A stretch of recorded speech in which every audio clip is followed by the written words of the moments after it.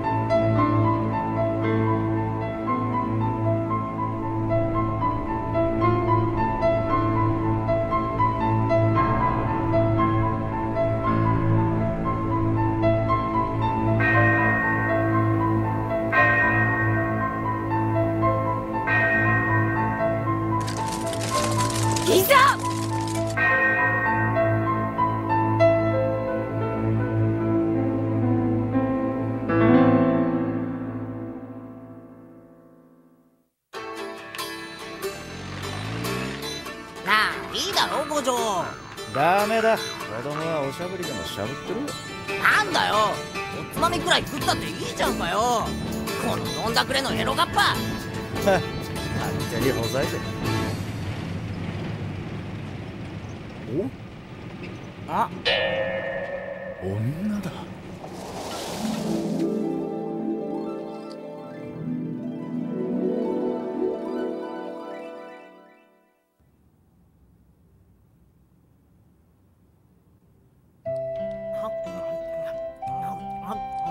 本当に助かりましたわ。なんとお礼を言ってよいか。えお前たち兄弟なんだ。そうよ私たち結構仲がいいのよ。あなた方は旅をしてらっしゃるのですわええ。まあ遠足みたいなものですけど。いろいろ大変な目にもあったりするんだろ大したことじゃねえよ。悟空の足がくせえとか生臭坊主がしょっちゅう銃をぶっ放すとか。妖怪が攻めてくるとかね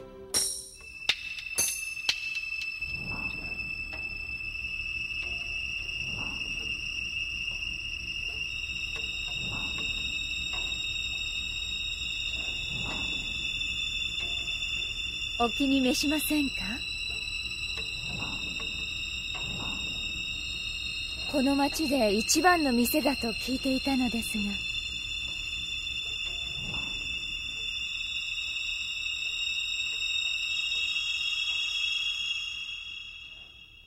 では私たちはこれで。助かったよ。どうもありがとうございました。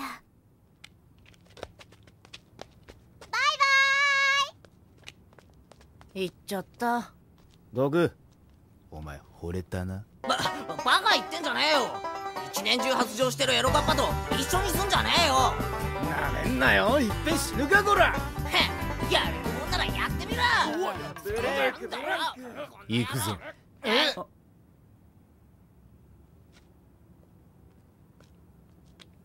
どうしたんだよ三蔵。さっきからムスッとしちゃってさ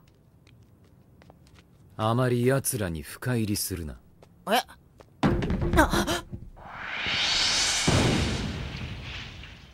深入りするとこうなるってことだ。でも。偶然だ。これと姉ちゃんたちは関係ねえよ。な悟空。それも偶然か？当たり前だ。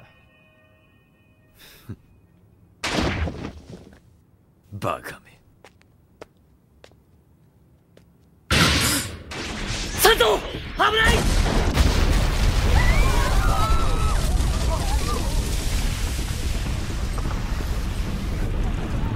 三蔵まだ偶然と言い張る気か。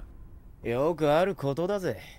理科の実験や料理の途中でな。勝手にしろ。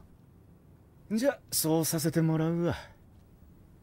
五条どこへ行くんですか？ちょっくら小銭でも稼いでくるわ。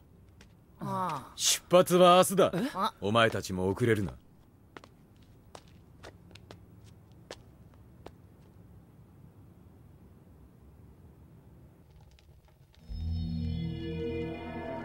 何をグズグズしている。奴らを殺すチャンスはいくらでもあったはずだ。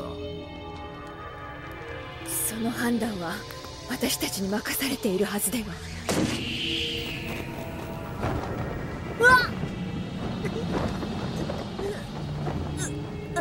貴様俺に歯向かう気か。いえ私はただ。今すぐお前と可愛い妹たちを殺してやってもいいんだぞ。え？約束したはずです。妹たちには手を出さないでば口の利き方に気をつけろ。安心しろ。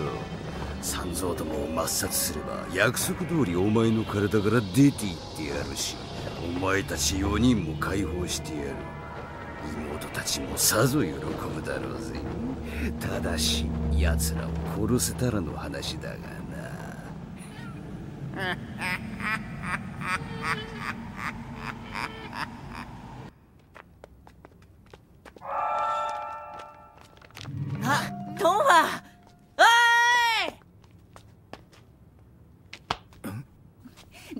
ーいご長奇遇ね。ほんと奇遇だな。本当にすいません。重くないですか？あの。いえ。気にしないでください。こういうのは慣れてますから。ね悟空？よく言うよ。大丈夫？悟空。大丈夫大丈夫。こんなのへっちゃらさ。本当？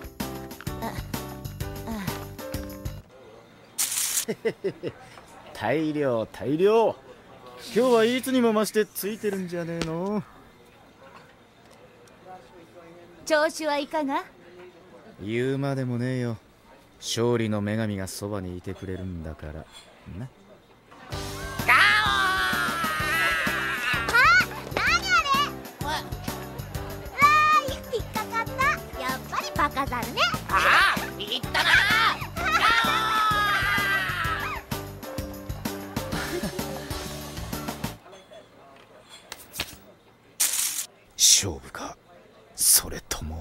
勝負よ。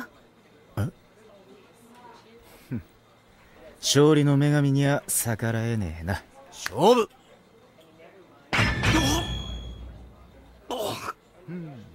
くそ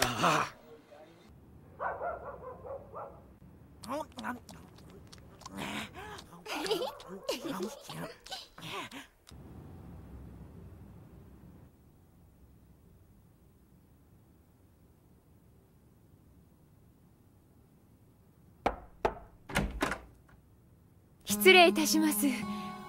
三蔵様が同じ宿にご逗留していると聞いたものですから。何の用だ？珍しいお酒が手に入ったものであの先ほどのお礼にと思いまして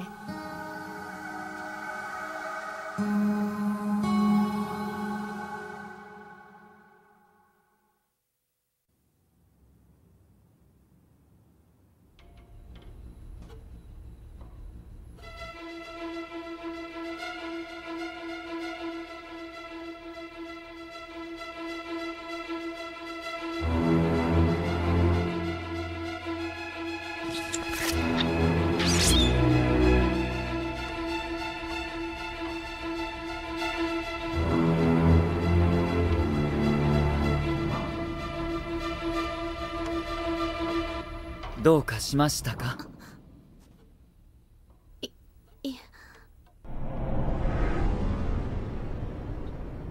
あの実は。飲みませんか？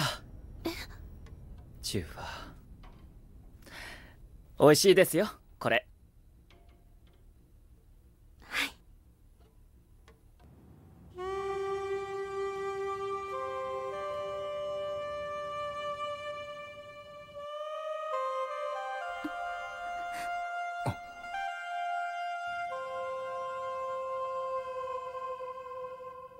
シャファ帰りな。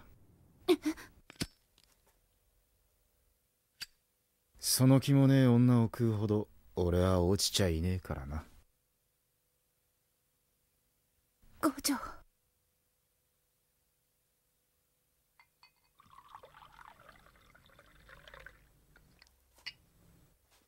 何もおっしゃってくださらないのですね。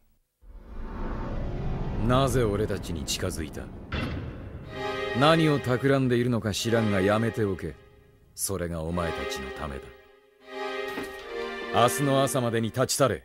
そして二度と俺たちの前に姿を見せるな。三蔵様私にはわからないのです。進むべき道は一つしか用意されていないしその道を進むしかない。でもそれが本当に正しいことなのか。何を勘違いしている？道が一つなんて誰が決めたんだ？そう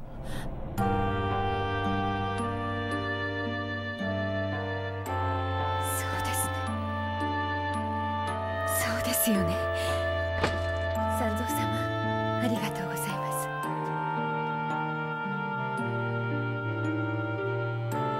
す。三蔵様お願いがあります。もしそれでも道がなくなった時は。いえ何でもありません。シュンファー貴様俺を裏切る気か？貴様いや妹たちの命が惜しくないのか？約束は守ります私なりのやり方で。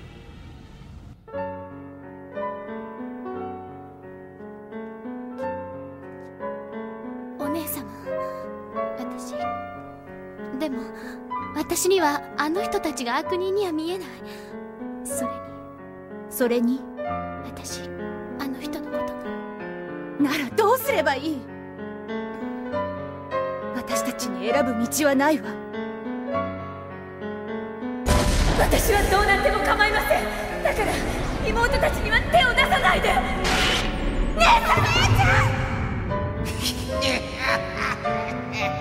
あの人たちを倒せばシュンファー姉さんから出ていくとあの妖怪は言っていたけど。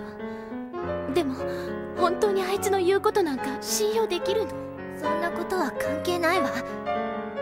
あの時シューファー姉さんは私たちを命がけで救ってくれたじゃない今度は私たちで姉さんを救うのよ。あなたたちは逃げなさい。私のことは忘れて新しい人生いえ道を進んでください。お姉様。行くぞ悟空。あああ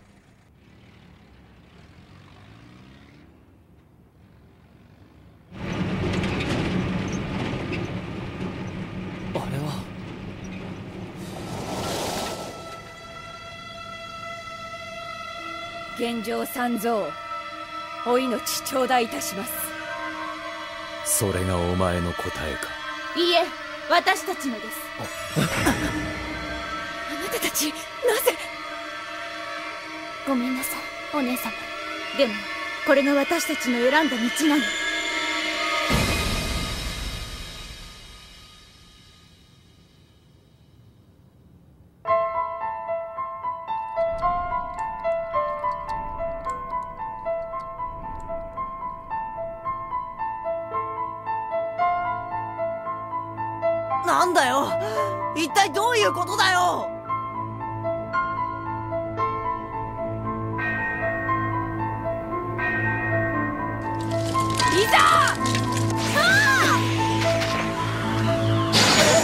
やっぱこうなるのね。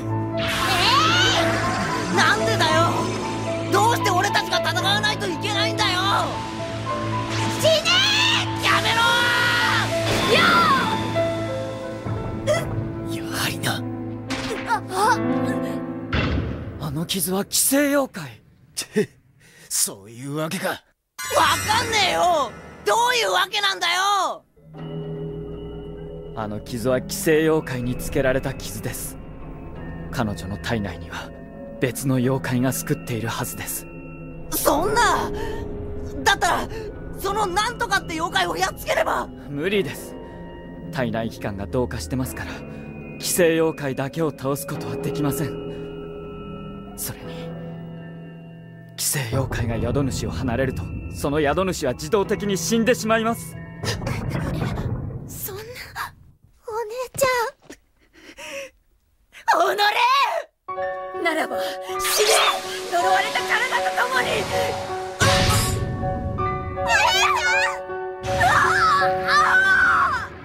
おっとそうはいかんお前は大事な人質なんだからな貴様バカな奴らだ。お前たちが余計なことを言わなければ奴らの自我を保てたもの。だと？ト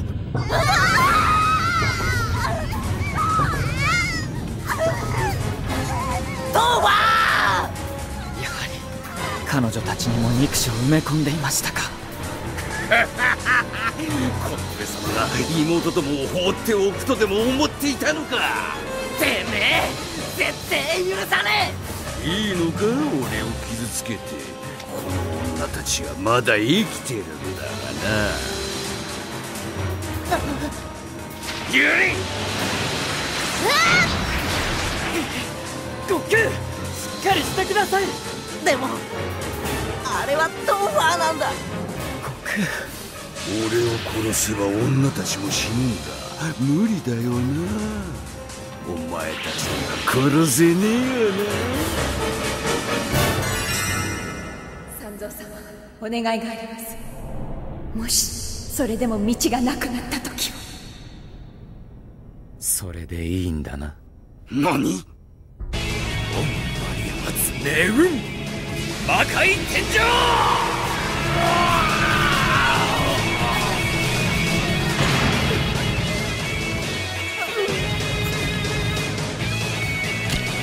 これで終わりだ。やべえダメだダメだ三蔵手を離せ僕。嫌だ！いいから手を離せ。離さない！絶対離すもんか！だってあれはシューファーなんだ！シャーファーもシューファーだってせっかくトンファーと出会えたのになんでなんでなんだよ。手を離せ。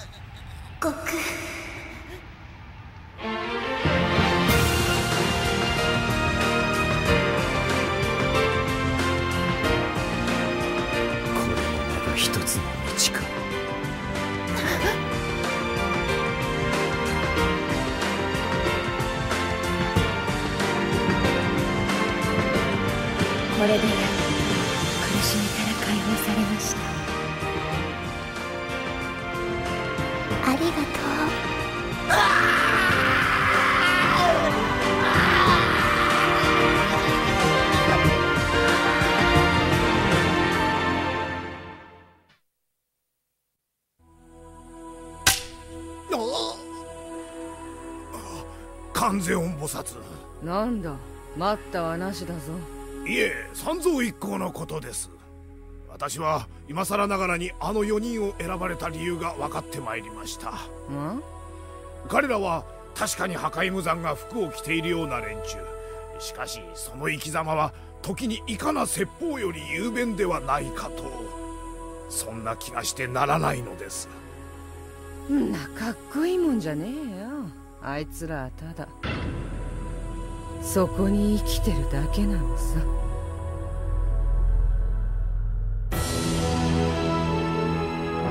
流佐の罠。ち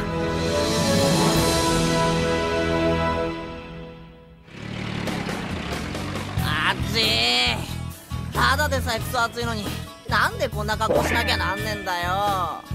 砂まみれになりたきゃ脱ぎゃいいだろ猿。喋らせんなよ。口の中に砂が入るてめえこそあんまり読んなよ。あちってば。うるせえな。狭いんだよこの焼き猿が。誰が焼き猿だ。干からびたカッパ。やるかこら！そんなに冷たくなりたいか？結構です。ダメですよ三蔵。冷たくなる前に腐っちゃいますから。それにしても見渡す限り砂海原だな。涼しくなるように怖い話でもしますか？僕結構知ってますよ。いい。お前にだけは怪談話してほしくない気がする。あなああれ人じゃない？おーい！この砂漠抜けるにはあとどんくらいかかる？お兄ちゃんたち旅の人？この砂漠抜けるには一晩くらいかかっちゃうよ。げマジで？それは困りましたね。近くに俺たちの村があるんだよかったら止めてあげようか。やったいやー助かりました。ああよく旅の人がここの砂漠に迷い込むんだ。あんたらこの子に見つかってラッキーだったね。失礼ですがなぜこのようなところに村が？ああ少し前まではここも立派な町だったんだがね。1年前から急に砂漠が広がって今はご覧の通りさねなるほどな。つまり桃源郷の異変がこんな形でも現れてるってことか。おおいその服まさかまさかあんた三蔵法師か。悪いけどうちには止められねえ。よそを当たってくれ。おいどっか案内してやれ。おいちょっと。君訳を知っているみたいだね。よかったら話してくれないかな。1年くらい前まだこの辺も町の一部だった頃三蔵法師様が来たんだ。その人たちお兄ちゃんたちみたいに旅の途中で立ち寄っただけなんだ。それでも偉いお坊さんが来たって町を挙げて迎えたんだけどその噂を聞きつけた砂漠の妖怪が三蔵様を食べにやってきたんだ。なんでわざわざ三蔵を食べにやってきたんだよ。三蔵ってうまいの？なあそれってお前が言うとシャレになんねえぞ。前に雲女も言ってたな。徳の高い坊主を食べると寿命が延びる。それが妖怪たちの間での言い伝えだと。つまり最高層三蔵法師は妖怪にとって最高の漢方薬みたいなもんですね。それってマジな話？さあな。あいにくと食べられてやったことがないんでわからん。でその三蔵は？あっさりさらわれちゃった。あっさりか。三蔵なのに？三蔵だからって鬼のように強いとは限らないでしょ？きっとちゃんとした真面目な普通の三蔵だったんですよ。ああなるほど。何が言いたい？とにかく俺たちがここにいるとまたいつ妖怪が襲ってくるかわかんねえってわけだ。ごめんなさい。しょうがねえじゃん。気にすんなって。それじゃあ僕らは早々に退散した方が良さそうですね。どうかしましたか？三蔵。ちょっとな。おい子供。その砂漠の妖怪どこにいるかわかるか？えー、っと大体はわかりますけど。よし案内しろ。ええおいちょっと待てよ。妖怪退治にでも行くつもりか？正義の味方じゃあるまいし。わざわざこっちから出向く必要ねえじゃん。そうだよ。危ないじゃんか。何か考えがあるんですね三蔵。まあな。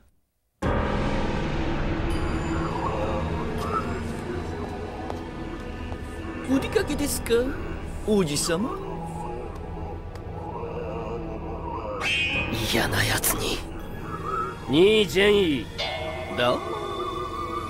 あんたの悪ふざけに付き合っている暇はないんだ。失礼する。また三蔵一行の抹殺。ですか。東方の砂漠に天地開元教門の一つがあるという情報が入った。最も大事なことは牛魔王の復活。そのためには5つの教門を集めること三蔵一行の抹殺よりもそれは優先される。そしてそれは全て母上のために泣かせるな。シクシクシクシクほら行くぞこう。大事なものは大事なものは手放しちゃダメだよ。王子様。何が言いたい？単なるアドバイス。いや忠告かな。じゃあ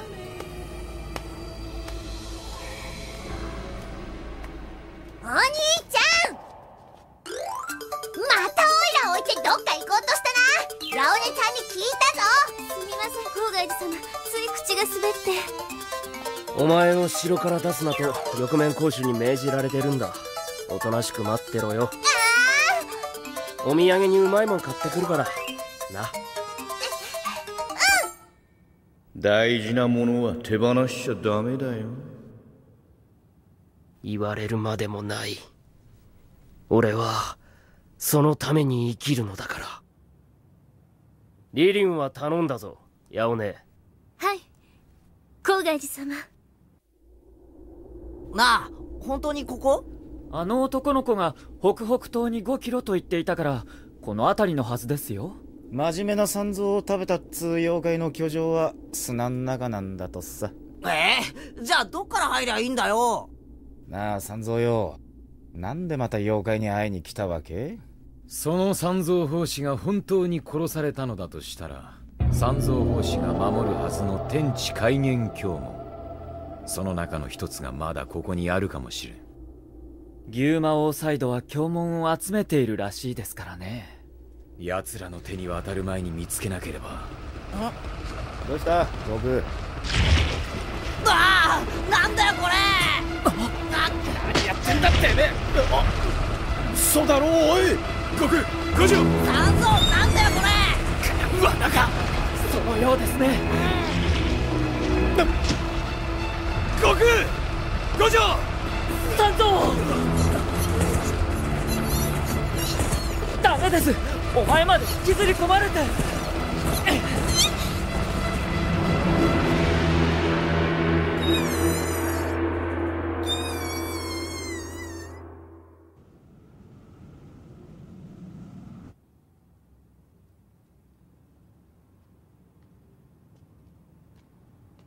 リリン様。こちらにいらしたのですか？玉面講師様がお呼びですよ。ねえ八尾根ちゃん。はい。お兄ちゃんの母上は優しかったのかな？お兄ちゃんの大好きな人なんだからきっと優しいんだよね。おいらの母上はおいらのこと嫌いみたいだけどお兄ちゃんの母上はおいらのこと好きになってくれるかな？リリン様もちろんです。その証拠に郊外寺様も私もリリン様が大好きです。うんおいらもお兄ちゃんたち大好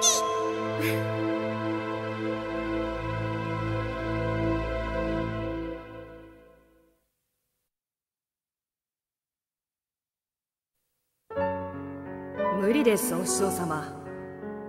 お気持ちは嬉しいですが俺は三蔵法師にふさわしい人間じゃありません。光龍三蔵に選ばれる基準などもともとないのですよ。私が見定めた13年の時をかけて三蔵に必要なのはその強い肉体とそれにも増して強い心。強くありなさい。現状三蔵法師。それがあの方の最後の笑顔。それがあの方の最後の言葉。そして最後の願い。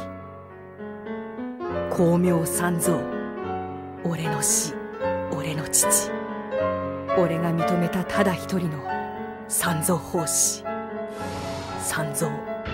俺はあの方と同じ名で呼ばれることで弱い自分を戒め続けてきたんだ。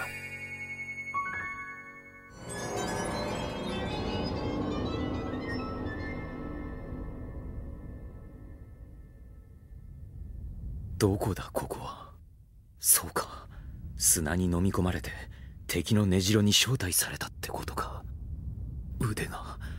いや体全体がしびれて動かねえな。金縛りの妖術か。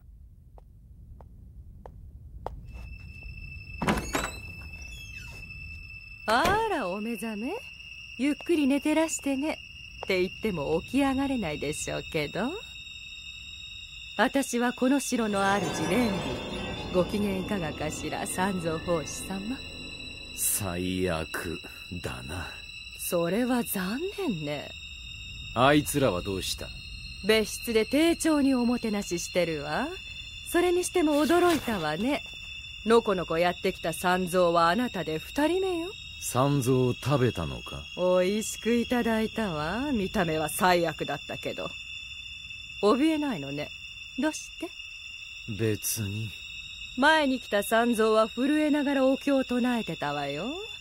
構想なんてみんな堅物のじじいかと思ってたけどこんなに若くて綺麗なのもいるのね。気に入ったわ。不老不死を手に入れたんだろう。三蔵を二人も食べてどうする？せっかく飛び込んできたごちそうですもの。食べなきゃ失礼じゃない？じゃあなぜ不老不死を望む？あら女心がわからないのね。女はいつまでも若く美しくありたいものよ。笑わせるなよクソババ何ですって？厚化粧で隠しているつもりか？無駄な努力だな。ヘドが出るぜ。訂正なさい。あなた自分の立場ってもんが分かってないわね。いつだって殺せるのよ。勝手にすればいいその醜い姿で永遠に生きなきゃならん貴様が一層哀れだな。出せよほら。聞いてんのかよ。やめとけば体力の無駄だって。聞こえたって出してくれないですよ多分。それにいつかのローとは違ってさすが妖怪よ頑丈にできてら。だって三蔵がいねえじゃんか狙われてんだろ？危ねえって。あいつがすんなり食べられる玉か？まあ僕たちは食べられる心配はないでしょうから三蔵を助ける前にここから抜け出すことを考えなきゃですね。ああ腹減った。三蔵が食べられる前に。悟空が餓死しますね。あこれ何の音？おいおい幻聴か？違うって。なんか髪が擦れるみたいな音が。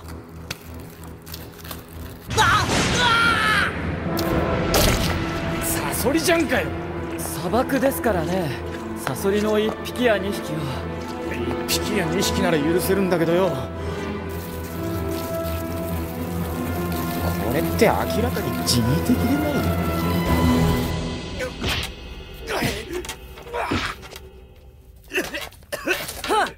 いい気になりやがってこのガキが。強くありなさい。現状三蔵法師。お師匠様。俺は俺は。気に入らねえ目しやがって。何が三蔵だ？所詮貴様らなど。度胸するだけのただの人間じゃねえか。そうかもな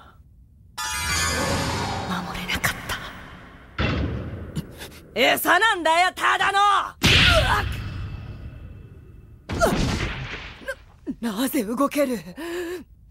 貴様に散々殴られたおかげで妖術から覚めた。確かに三蔵はただの人間だ。だから人だって殺せる。ましてや妖怪のお前ならなおさらだ。このこのこのこのどうするよ？壁をぶち破るしかねえよ。ダメあやれやはっかい。一人で落ち着いてないでなんとかしろよ。そうですね。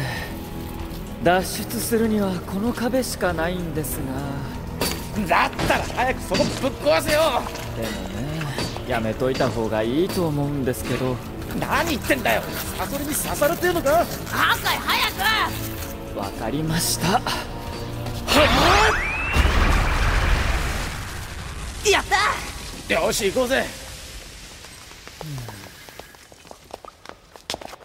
何してんだよ八海！置いてくぞ。俺を殺すだと？忘れたのか？俺は三蔵を食った不死身の体なんだぜ。滑稽だな。そんな噂をまだ信じてるのか。何？ただの人間を食べて不死身になれると本気で思ってやがるのか。今の貴様が不老不死だという確証がどこにある？試してみるか。ややめうわこんな。おお不死身でも痛みは感じるらしいな頭や心臓ぶち抜いたらさぞかし痛いだろうぜ。くだらねえ。くだらねえんだよ。何やってんだよ！三蔵こんな拷問めいたことお前らしくもね俺らしくない。俺らしいってのはどんなだ？三蔵悟空てえな何すんだてめえ！殴れよ。このバカザルって言ってハリセンで殴ればそれが俺の知ってる三蔵だ。三蔵を取り巻いていたトゲトゲしい空気が一瞬でやはり悟空にはかないませんね。おい一つ聞きたいことがある。俺がつけていた経文とそれから貴様が殺した三蔵が所持していた経文どこにあった？経文。だと前の三蔵の経文はこの城のどこかに捨ておいてあるはずだ。お前のならその後ろの棚に。あれか。あ危ねえ三蔵！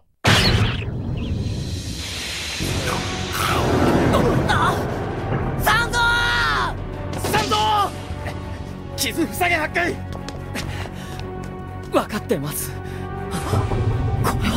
俺の爪は誘いの毒針になってるんだよ。もちろん致死量のな。てめえ！絶対許さねちーなおい。おかしいな。情報では経文を持つ妖怪の城はこの辺りのはずだが。ん？どうした独学？いやなんか白いもんが埋まって。おいこう。こいつ。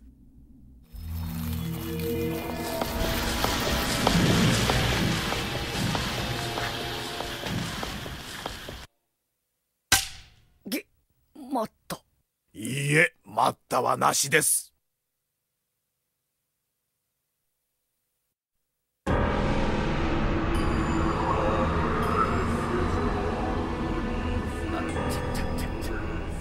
背中に爪の跡でも残されたか？鋭いねじいさん。まこれも男の解消ってや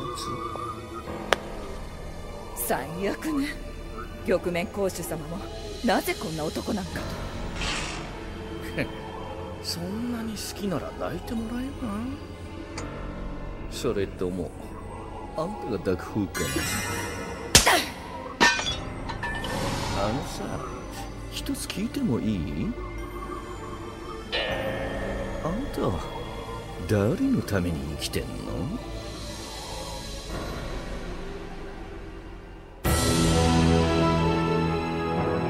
破滅への暴走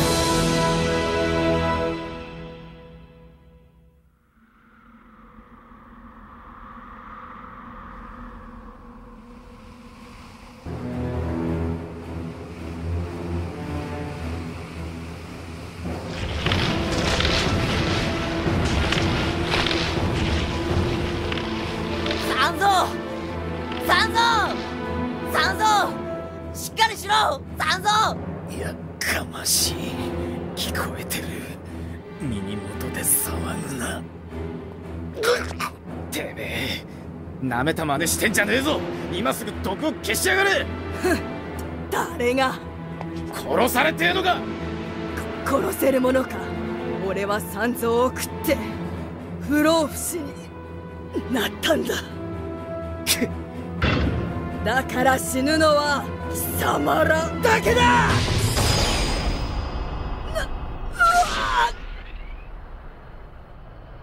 そそんなバカな俺は死なない死なないはずなのに!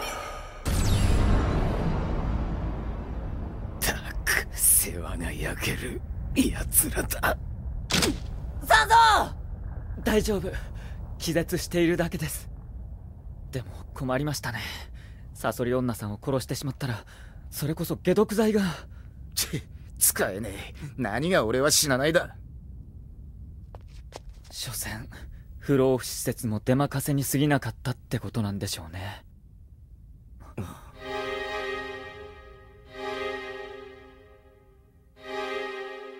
おいこいつまた暴れ出すんじゃねえか？陸道の時と同じシチュエーションだぜ。これ。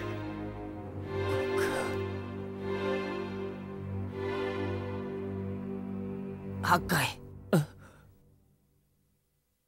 どうすればいい？どうすれば三蔵を助けられる？三蔵言ってたじゃないですか。そいつらは死なないって。だから僕らはそれに応えなきゃいけない自分が誇れるだけの強さで。そっか。うん。強くなる。何かしら方法はあるはずです。大丈夫ですよ。この人がそう簡単に死ぬわけないですから。ああ。とりあえずは地上に出るのが先決だな。ええ。昨日寄った村に戻れば血清ぐらいはあるかも砂漠にある村でしょ？サソリの毒には特に気を使っているはずですから。だけど出口はどこだよ？どっから入ったのかもわかんねえのに。あ？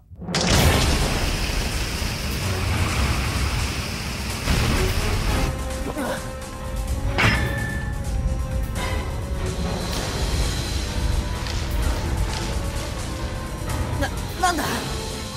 どっかが崩れた音がしたぜままさか。ここって地下じゃないですか。まあな。僕たちさっき牢獄からどうやって抜け出しましたっけ？壁突き破って。もし地下の中枢部に当たる壁が壊れたらどうなります？どうって。上の砂漠の重みに負け。早く言え。そういうことはだからさっき止めたじゃないですか。出口を探すどころかこの部屋からも出られなくなったぜ。どこかに通気口がなんかねえのかよ。そうだ。忘れてた。何やってんだ八海。経文です。魔天経文ともう一人の三蔵の経文をあったでも魔天経文だけかおいなんかやべえよ。天井が落ちる。校長これ持ってて。あ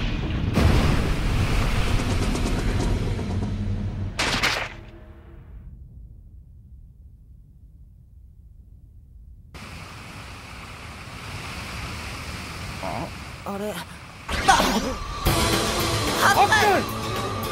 あいにく頭上しか守れませんからね足元埋まらないように注意してください。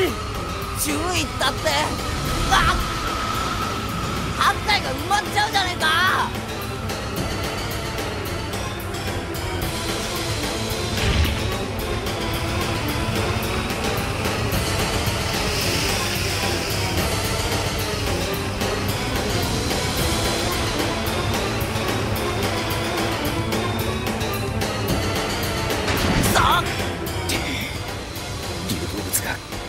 厄介だとは。思わなかったぜ。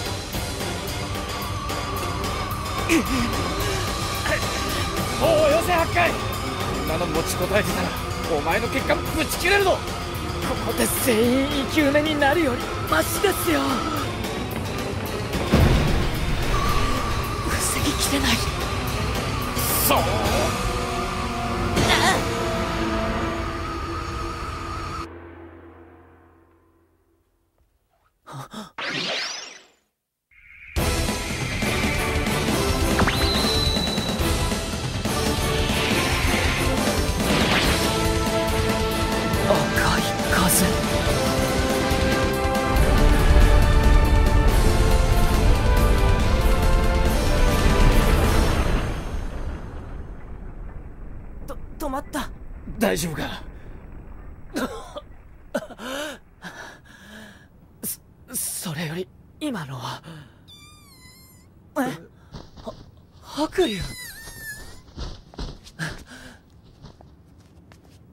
ここで待っていたんですか？この炎天下でずっと僕たちを。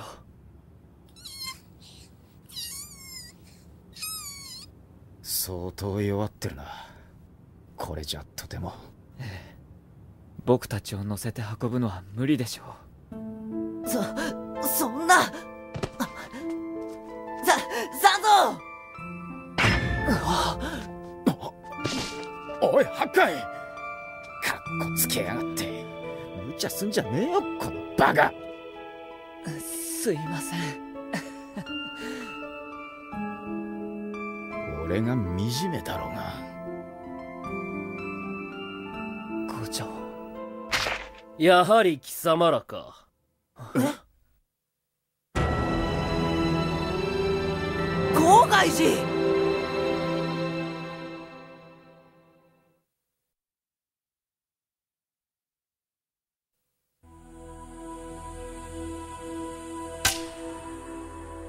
かし変われば変わるものですなあの悟空という子供この天界へ連れてこられた500年前はただの小猿同然であったのに。だから生き物は面白いのさ。は普遍のものなんざ嫌いだね。退屈だよ。そういやこんなセリフ前にも誰かに言ったっけな。郊外寺ふん。貴様らこんなところで何をしている？さっきの赤い風はあなただったんですね。お前が助けてくれたの？サンキュー。勘違いするな。たまたま通りすがっただけだ。そうだ。三蔵が三蔵が妖怪の毒にやられてやべえんだ。なんだと？あの薬使いの姉ちゃんいないのか？八尾根なら今日はいねえぞ。お前らこの砂漠の妖怪に会ったのか？ああもう死んだけどな。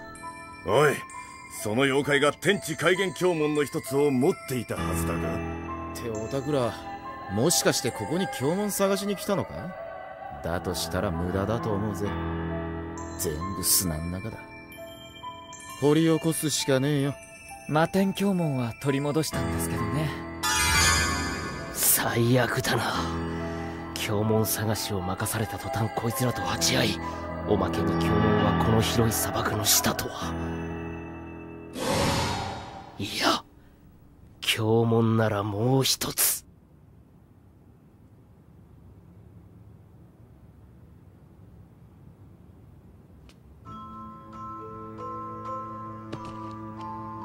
おいどうする気だ悟空？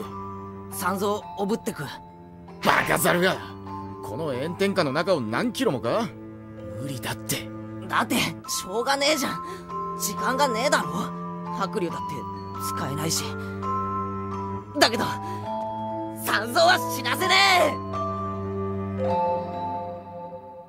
大事なものは大事なものは手放しちゃダメだよ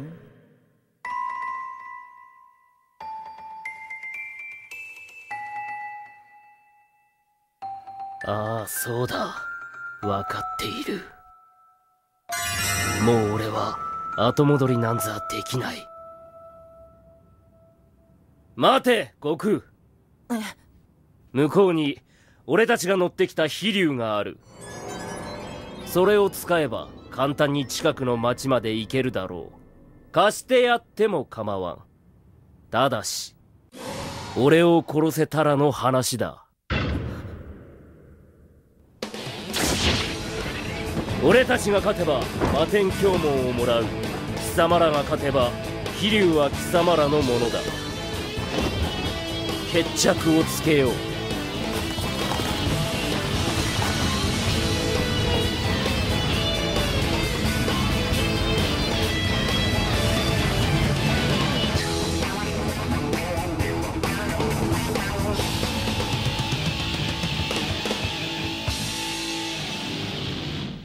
郊外寺どうしたの？お前。なんか変だぞ。悟空！避けて！え？あ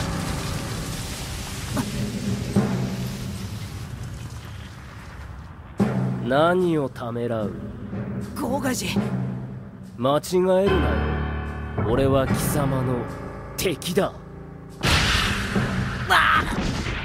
ふん。貴様に戦う意志がないなら教文はいただいていくまでだ。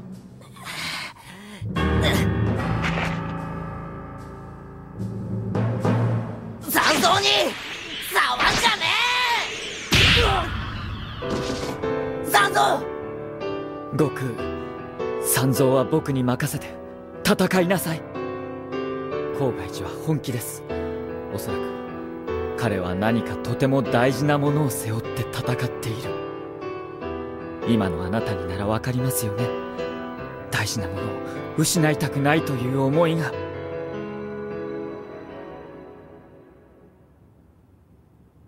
郊外寺お前はそれでいいんだな。俺はもう後悔しない。そうか。なら俺も止めねえよ危ね俺の存在を無視して話進めてんじゃねえっての。いじけちゃうぜ。俺が相手じゃ頼むか佐護上等だぜ独学寺遠慮しねえで。受け取んな！郊外寺こっちは任せろ行け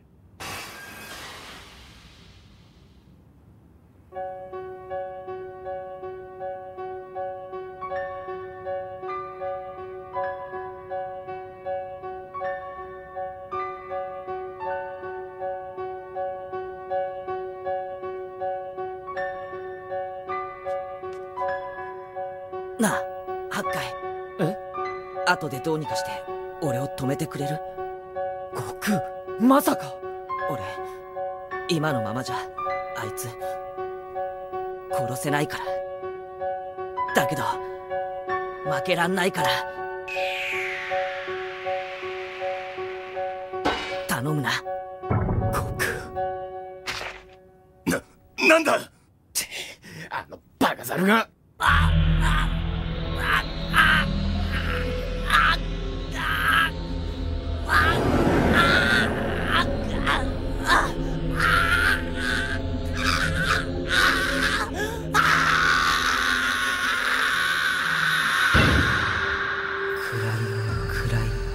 闇の中から連れ出してくれた。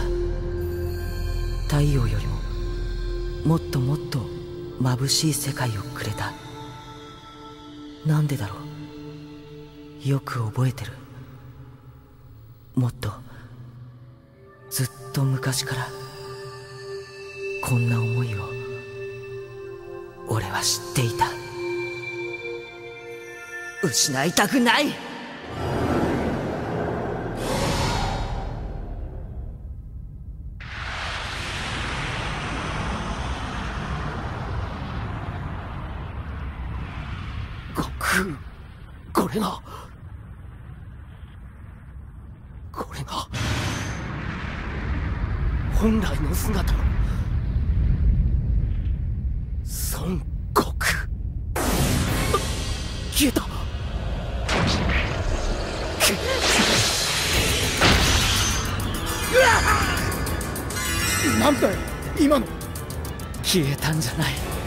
見えなかったんです。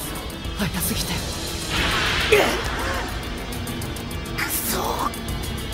おそらく六道の時なんかとは比べ物にならないほどに。スピードアップしています。肉弾戦じゃ歯が立たない。ならばオンサラバギャーテーギャーテーオンキリキリオンキリキリギャーテーソワカノーマクバラサカンカン。ノーマクバラサカンカンボージーソーカアラソーギャーテーオンマに運張ったうんかい。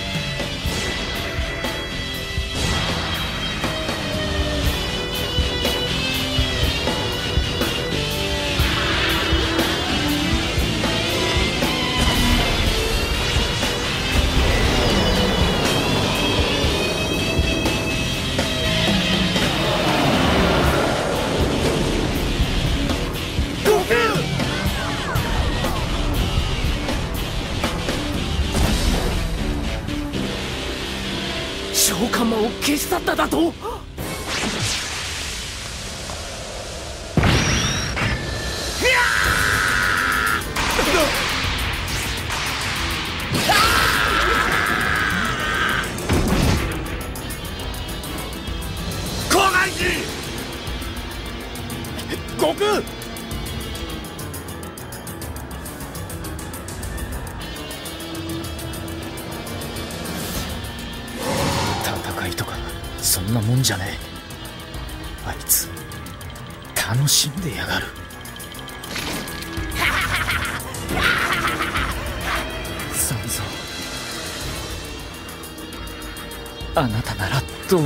ますか。こんな悟空の姿を。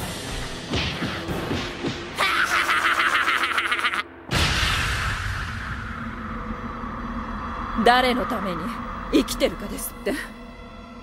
答えられないなら教えてあげよう。人はみんな誰かのためにと口ずさみながら誰もが自分のためだけに生きて死ぬんだ。